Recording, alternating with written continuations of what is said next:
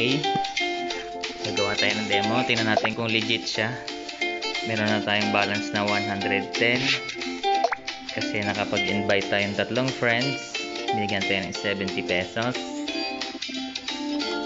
Tsaka yung sa activity na 50 pesos. Nakuha na natin tong day 1, day 2. Play the first time. Tsaka yung bind the invitation code.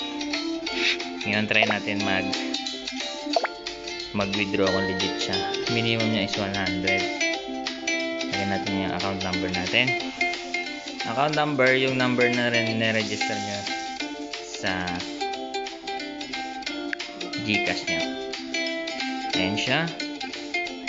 So, yun, sasubmit na natin.